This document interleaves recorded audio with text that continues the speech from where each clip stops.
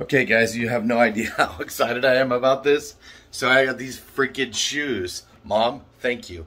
She bought me these shoes, these new Nikes, and they squeak, and it drives me nuts. I feel like SpongeBob everywhere I go. Can you hear them? Listen, this one's not as bad.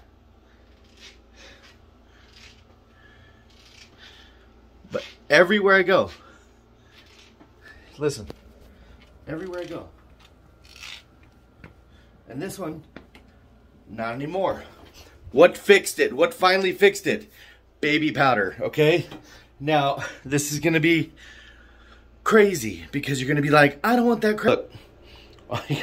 My toilet's a mess.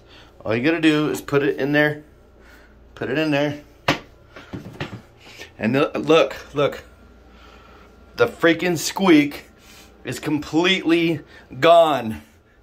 I did it!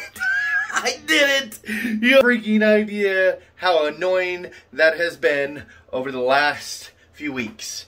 Both of the squeaks are gone. Now I'm just gonna clean the powder off, make the shoe look a little bit better, and we're good to go. Thank you. Thank you.